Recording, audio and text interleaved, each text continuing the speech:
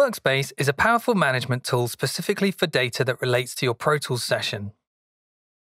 There are three preset workspace windows Default, Soundbase, and Track presets.